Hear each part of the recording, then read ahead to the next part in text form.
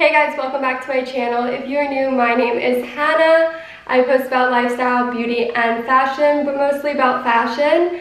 And today I'm going to be sharing my fall favorites. I haven't been posting for a while or I took an unwanted break from YouTube because I have been in the process of moving and it just has become very chaotic so I wasn't able to film but I am finally in my new space so I'm very excited to start posting again.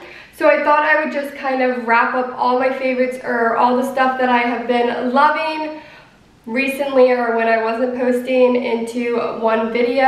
And a lot of this stuff has to do with like moving into like the cozier fall weather things that you just start loving as the weather gets colder.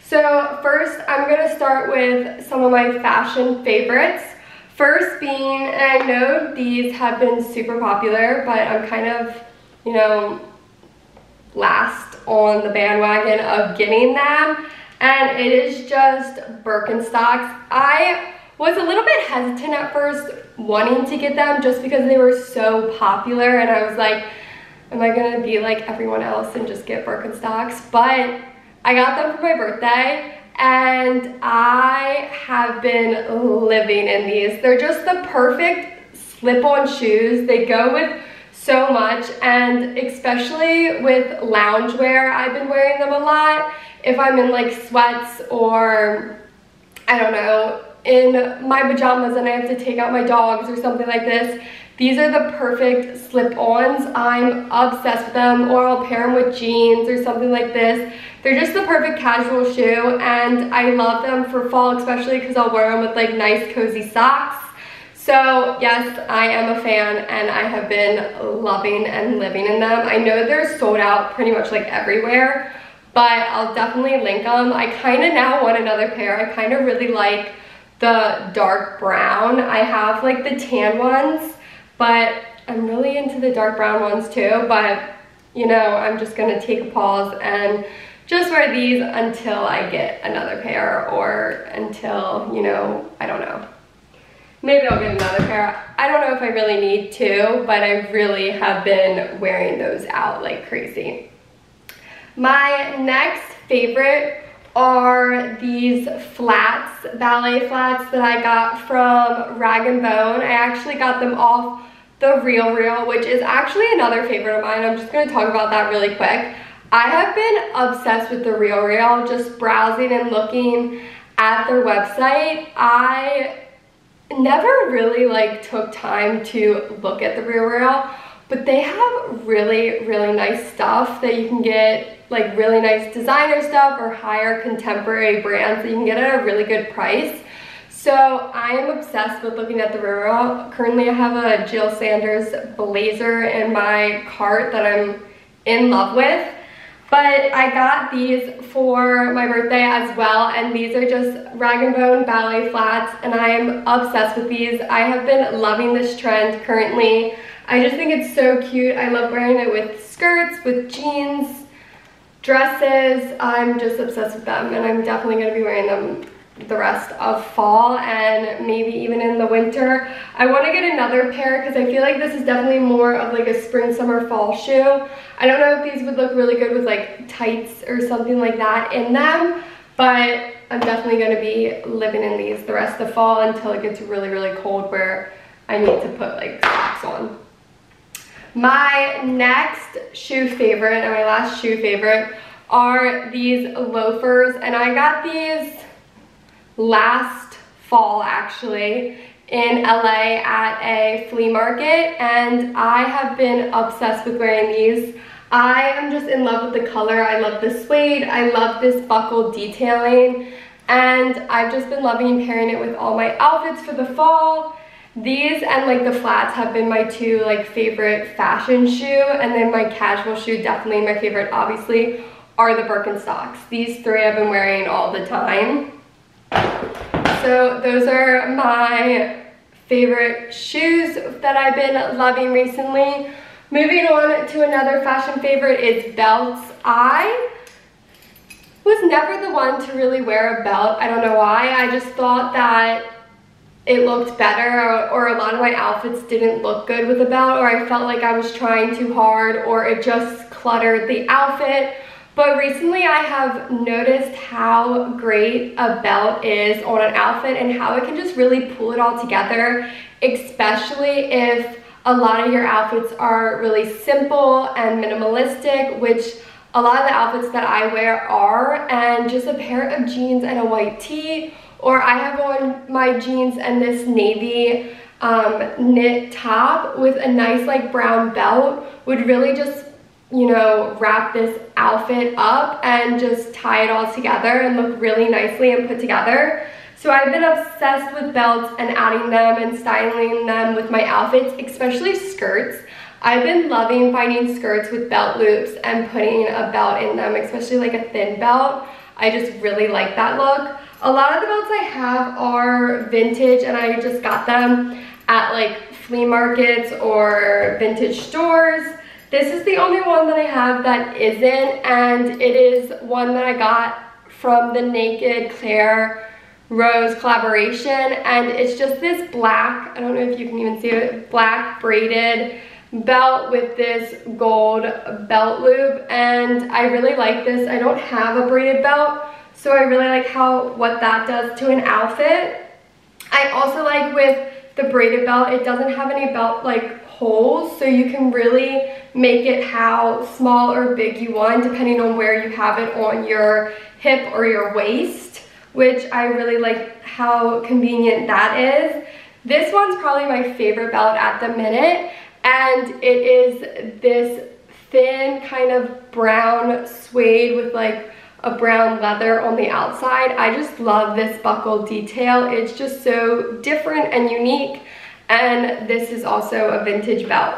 But yeah, I've been really loving belts. I urge you guys to try and style belts with your outfits. I just think it really adds to it and I've never really felt that before or I've never been a like belt person. And all those belts I've recently um, purchased, like I said, I've never really added a belt to my outfit, but I've been loving them, especially you can find really good vintage belts. So highly recommend thrifting one or going vintage shopping or going to thrift shops to find one. My next and final fashion favorite is definitely vintage jackets. I have an obsession, I have realized. Since we have been moving, I had most of my winter and fall clothing in my storage unit because I was in summer and I just didn't think, I knew that when we moved and when I needed the fall stuff, I would already be in the new, new space. So I forgot how many vintage jackets I have already had. And I went to Florida twice this year and I've just been to a lot of different places that have vintage shopping and I have purchased so many different vintage jackets. And so then when I started unboxing my already, like, my clothes I already had, I realized how many vintage jackets I currently have and own and how it is definitely a problem. But it's something that I love and something that I don't want to get rid of because I think vintage jackets are so cool and a jacket definitely adds to any outfit and makes it instantly more cool. So this is definitely a new favorite. I'm only showing one, but if you want to see a video of all my vintage jackets and like, like a collection, I would definitely love filming one of those because I definitely have a lot and I'm obsessed with every single one. But this is a new one to my wardrobe and I am obsessed with it. It's this beautiful dark brown coat and it's a suede and I just think it's the perfect length and I like how this one's structured. It's a thicker material. The only thing I don't like about it is the buttons. It kind of has like a zebra, not a zebra, like a tiger print. I don't know, so I think I'm gonna change those just to a simple dark brown button and then this coat will be perfect. But I just love the shape of it. It looks so good on. I'm so obsessed. I've already worn it so many times it's my favorite at the moment. It's my new favorite jacket right now and I've been wearing it all the time. Any chance I can have, I put it on. But yeah, definitely have a vintage jacket obsession and a problem, but you know, it's okay. Moving on to makeup or just body care, I have two favorites for you guys. First being this Ogee blush. And I have been loving this blush. I just think it's such a pretty color. This is the color. It's just this beautiful pinky and it has a little bit of like sparkle to it, which I usually don't like, but it's so subtle and I think it just adds and enhances the color on your cheek. So it doesn't really show up sparkly. It just creates this like beautiful, sorry about the lighting, it keeps going in and out, but it just creates this beautiful, I don't know, pinky color on your cheek. I'm obsessed with it. It's in the color, I have no idea how to pronounce it, but I'll have it linked down below, but I know you can buy these separate. I got this in a kit, but you can definitely purchase the face sticks separately on their website, and I do have a code for them. I think it's Hannah-25 for 15% off but I'll leave that down below as well. But this has just been my go-to blush at the minute. I've been loving it. I just think it leaves just the perfect color on your cheek. My next favorite, and as we move into the winter, you're not as tan as you, as you would love to be, like you were in the summertime. So self-tanner has definitely started for me. And my favorite self-tanner of all time is the Bondi Sands this stuff is incredible. I've never, knock on wood, I don't, I don't have wood near me. I guess there's wood in the wall, maybe. I don't know. Um, have any, I've never had a problem with this, never had streaks, never, nothing. It just always looks so good and so natural. I'm obsessed with it. And I've had a bunch of different like ones. This one's the One Hour Express, which I love because sometimes I don't like to sleep in it, so I'll put this on even in the morning, or if I have an event that night or a party or something, I'll even put this on like two hours, three hours before I have to go, and then rinse it off before I start getting ready, and you're good to go, which I love, so I don't even have to like go through the process of it the day before or something if I'm too busy or don't have time. It's very easy. So I love the one hour express. I also have the regular one and I love that as well. It just is my favorite self tanner of all time. So if you're looking for a good one, I highly recommend Bondi Sands. I find it in my like Walmart or CVS. You can pretty much find it in anywhere. So love that so much. Moving on to things that I can actually show you. My first one being the Form by Sami Clarke, her workout program. I have been obsessed with that. It has been saving my life because in the process of moving, I just haven't been able to go to boxing or I'm I don't have a lot of space or a lot of equipment. The Sami Clarke workout, which I love, is that there's just so many different options. She has a lot of workouts that you don't need equipment or you don't you just need a mat or just a space or something or you can just be standing or stuff like that which has been helping me so much. So I have been doing one of her workouts pretty much every single day for the past like month or so since I moved and I just have been feeling so good. That and going on walks. I've been really loving walking where I was temporarily, they had a good, nice walking path um, near it. So I was going over there and doing like a good like three mile or four mile walk. And then I would do like a 15 minute, 20 minute or whatever Sami Clarke workout from her form program. And it just really was convenient and easy and quick and really saved me because if it wasn't for that app, I probably wouldn't have worked out as much or felt as good as I do now, especially in the moving process. I feel like everything else besides what you're doing, like just, just goes downhill or I don't know. And because I had that app, I was able to, you know, be able to stay on top of working out because it makes my body feel good. It makes mentally me feel good. So yeah, that saved me. I am still obsessed with it, especially in a new place where boxes are currently just everywhere. My space is a mess right now. So just having my mat and that's all I need and I have like five pound, five pound dumbbells and I get to do a quick little workout. It's just been really saving me.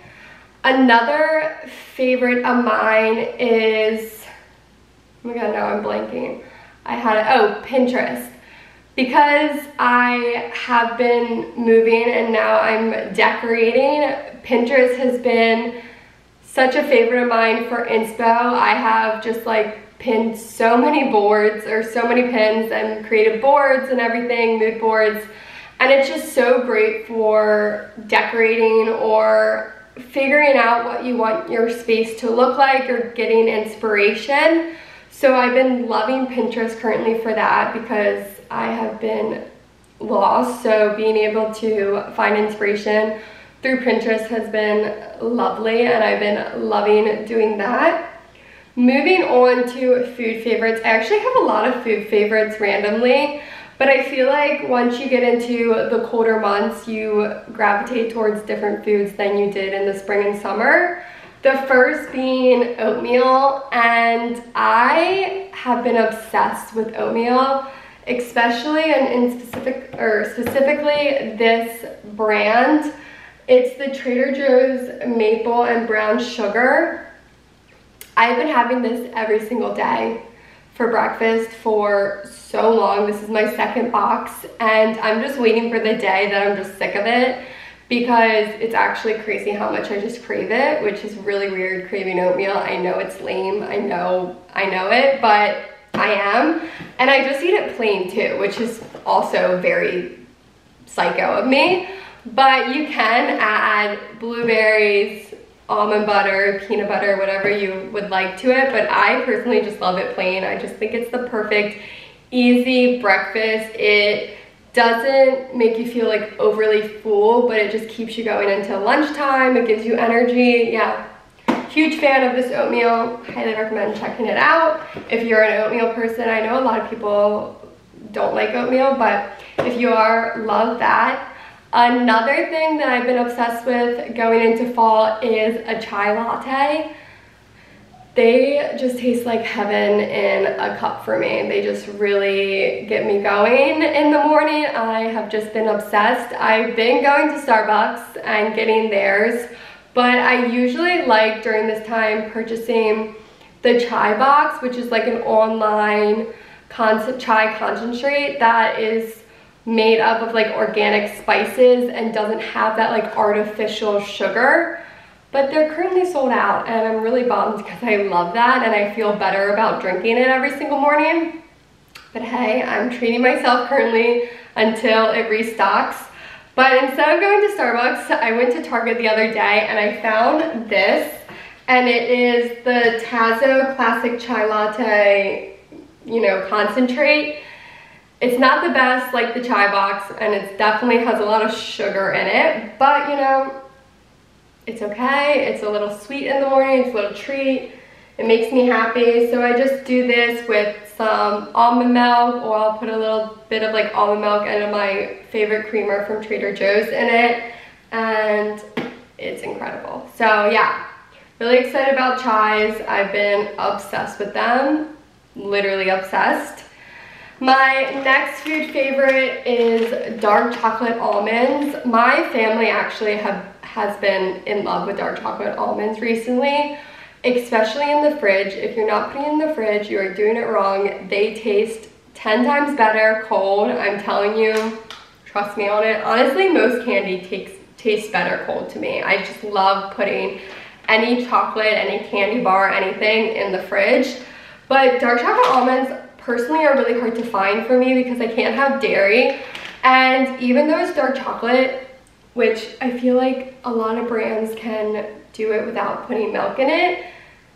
It doesn't happen. Most brands put milk in it. So I've been on the hunt. Every time I see a brand that doesn't have milk in it, I purchase it because it's sometimes like a hit or miss whether they're good or not. But I just recently got these from Target. It's the Good and Gather brand and they're so good. I'm obsessed with them and they're just the perfect like sweet during the day or after lunch. If you have like a sweet tooth, just grab a couple almonds or even at night. I've just, my family, we're obsessed. Love them so much.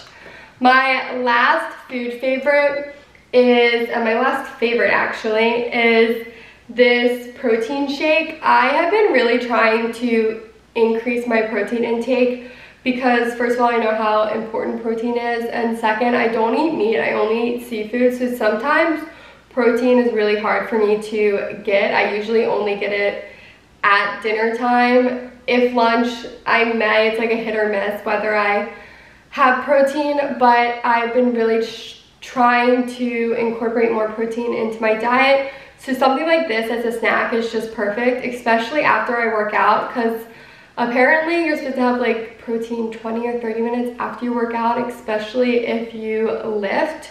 So just, this is the perfect little snack to have and it has 20 grams of protein in it.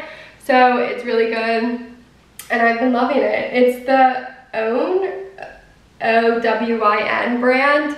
I really like the chocolate. They have cookies and cream that I really like and vanilla and I know that they have a plant-based. This one's the dairy-free one but I think they also have a regular protein shake as well that has regular milk in it if you don't want to do the dairy free. But yeah, been obsessed with these and been just grabbing them as a quick snack or after a workout if I want to or if I feel like I haven't been getting enough protein in that day.